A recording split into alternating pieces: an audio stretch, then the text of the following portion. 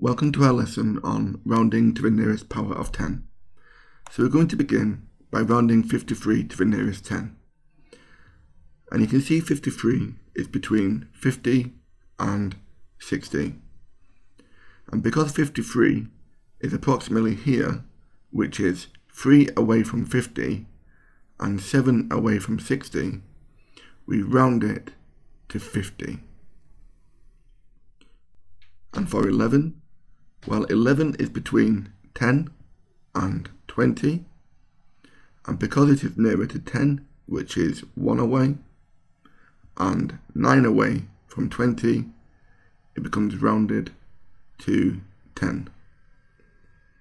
And for 95, well 95 is between 90 and 100, and it is exactly halfway between the two, which is 5 from 90 and 5 from 100.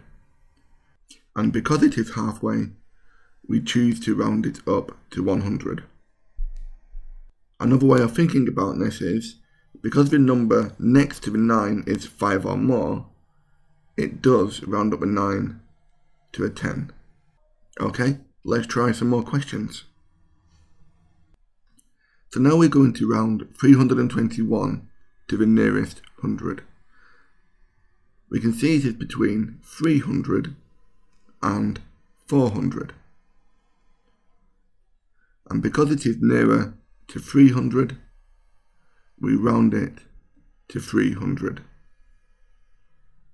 Do you want to try rounding the next two numbers to the nearest 100? You can pause the video and resume it when you're ready. So 750 is between 700 and 800. It is exactly halfway, so it becomes approximately 800. The 5 does round up the 7 to an 8.